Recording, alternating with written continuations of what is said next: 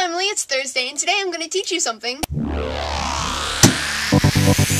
So lately in my World of the Arts class, we've been talking about art from 1900 to the 1920s. Around this time, art was mainly centered around Paris, France, in one specific village on the outskirts of town called Montmartre. I am probably pronouncing this wrong, I am very sorry, I am not French at all.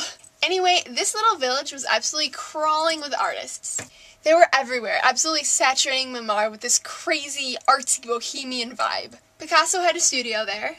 Artists like Matisse, Van Gogh, Degas, Manet, and Monet lived in this village and in nearby Paris. Even if they lived outside of the town, they would come in to just absorb the culture and be around all of the artsy people. To see all of their fellow artists making art and just living their lives. It was completely normal to just have artists sitting in the streets just making art. Like, it would be totally fine just walk down the road and see Pablo Picasso just sitting there making a masterpiece. Of course, there wasn't only art being made in Montmartre.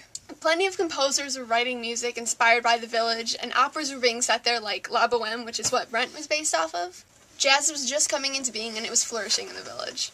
Writers were also flocking to it, like F. Scott Fitzgerald, Ernest Hemingway, Langston Hughes. They were all coming to see the new artistic revolution that was taking place in a small village outside Paris. Of course, it wasn't like the nicest place ever, like the most rich, because there are just artists living there. They're like starving artists. One of them said, If I were to starve, I might as well starve where the food is good and the people are agreeable. Since there are so many artists inhabiting Montmartre, like so many people in such a small town, there had to be entertainment for them. So they all went to the Moulin Rouge. It was like this really gritty, scandalous cabaret theater that was famous for its can-can dancers. You've probably seen the movie with Ewan McGregor and Nicole Kidman. Of course, that's a very fictionalized version of the place, but that's generally the kind of feel that it had.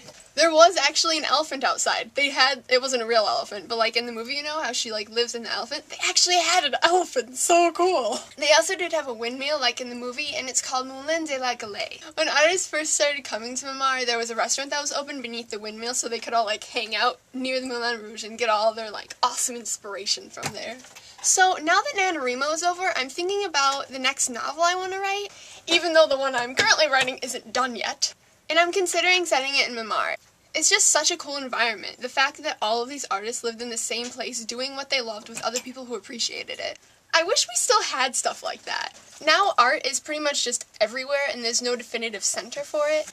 I wish that we still had world-renowned villages outside Paris that housed dozens of artists and was famous for the can-can. I just think that might be kind of nice.